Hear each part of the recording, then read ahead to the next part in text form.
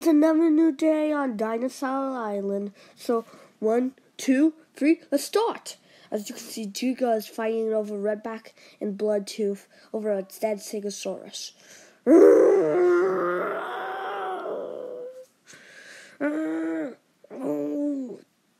Um, Bloodtooth goes in. However, he is in very uh, slippery dirt. He falls.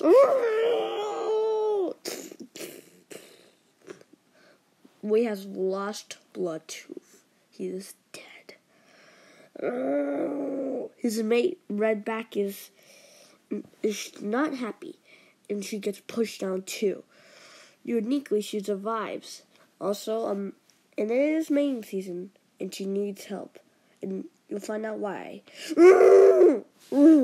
A new a mate hungry male T Rex will name him Rex has come to save the day. He helps up Redback, and the two, and Giga realizes she is outnumbered. Rex goes in and attacks. He successfully knocks down Giga. She runs away. While the other two get the meal. Anyways, meanwhile, as you can see, it's a Quetzalcoatlus looking for some um, bugs and stuff. However, it's being stalked.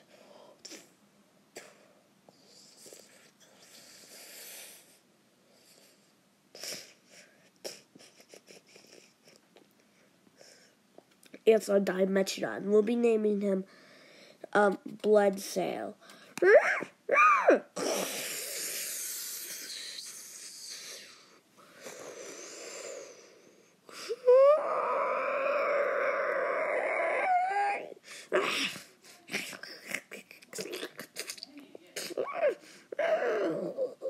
the Quetzalcoatlus has died.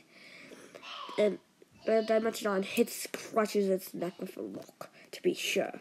And it pushes now a blood sail moves it into its den, his den, to have a nice meal.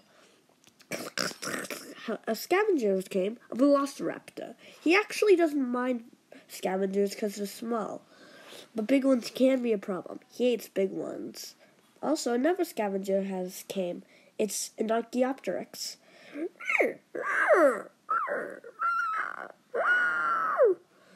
It seems she also seems to be pretty hungry and take some like nibbles out of it. Anyways, next episode. Uh, no. Meanwhile, um, as you can see, Uno and Alexa are walking till they hear some stomps. Oh, it's just a mirror. It seems to be out of breath. It takes some bites of a, out of a leaf and dies. Must have died of exhaustion. But this is no sad matter for Uno and Alexa. They have to leave, or else they, they'll be prey to the scavengers. In fact, the first one came. It's Chris. Here comes a Novaraptor. An Allosaurus, why not? And finally, last but not least, a Ceratosaurus. Anyways, next episode for real now. A new uh, old Emily has came.